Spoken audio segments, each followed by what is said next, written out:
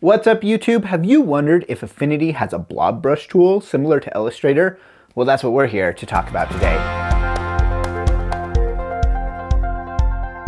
Welcome back, my name is Ben. I'm a media design educator and today we're talking about whether Affinity has a blob brush tool. And the short answer to that is it doesn't. Now you might be wondering, what is the Blob Brush tool if you've never heard of it before? Well, the Blob Brush tool is a tool that was in Adobe Illustrator, and I think it still is. I haven't used Adobe Illustrator in quite some time, but I don't think they've removed it. But it was a tool that allowed you to use something that felt like a brush, similar to a raster brush that you would use in Photoshop or Affinity Photo back in the day, and you could draw with a brush like that, but instead of creating a raster image, it would create a vector shape. And it wouldn't create just a line like you could do with a pen tool. It would actually create the outline of of that shape as a vector. And that was useful to some people in certain instances. And it was actually quite useful in things like shading and stuff like that when you were working on illustration. If you wanted to be working in vectors instead of in rasters because you want that scalability, but you still want kind of the freehand motion of the brush. And that has never existed in Affinity. It wasn't in Affinity Designer. And if we look in the new Affinity, it's not here either but there is a tool that we can use to almost mimic it. So we're going to dive into Affinity now. We're going to take a look at it. I'm going to show you how you can, with a couple of extra steps, make this work very similar to the blob brush tool. Remember, what you're going for with the blob brush tool is trying to create a freeform shape that is a vector shape, not a line. Let's go ahead, let's dive in and take a look at it. Okay, so here we are. We've dropped into Affinity and we are in the Vector Studio. So go ahead and make sure that you are on Vector in the top left, and that should be the blue one. We're going to go ahead and find this tool, the vector brush tool. So your tools are on the left hand side. If you do need a full tour of Affinity, I do have a video that just goes into a full tour of where, you know, the different sections of the app are and things like that. But if we go over here on the left hand side, we're going to go down one, two, three, four, five, six, seven tools to the pencil tool. That looks like a pencil there. And if you hold down on that, you're going to get a little flyout menu. And that flyout menu has three tools, pencil tool, path brush tool, and the knife tool. So we're going to go ahead and grab this path brush tool, which is how we are going to paint in vectors. So let's go ahead and grab that. When you do, you see you get a circle. Now your circle might be really small. I've used mine before, so mine's a little bit bigger, but this works like a brush. So if you're used to using a paintbrush tool in something like Photoshop or Affinity Photo, before they merged all the apps together, then this should seem familiar to you. You can make this brush size bigger or smaller based on your brackets. So using the left bracket, we can make it smaller,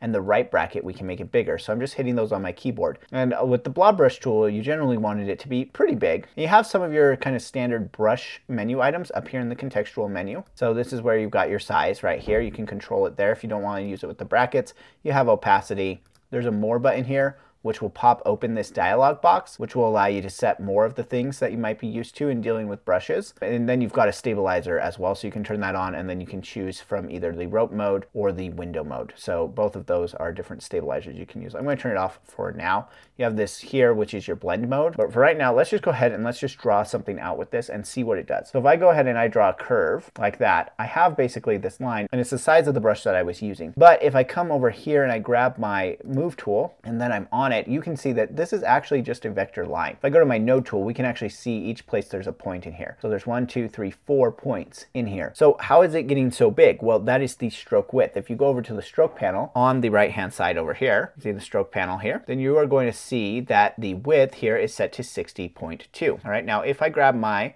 path brush tool again and I make it bigger and I draw now we're going to see that we have a width of 184.3. Okay, but this is still just a line. I can lower that width and I can make it small. Okay, so I can do, you know, whatever. Now, the one thing here is this only goes up to 100 normally, but if you make the brush size bigger, then it can, or you can type in something bigger here.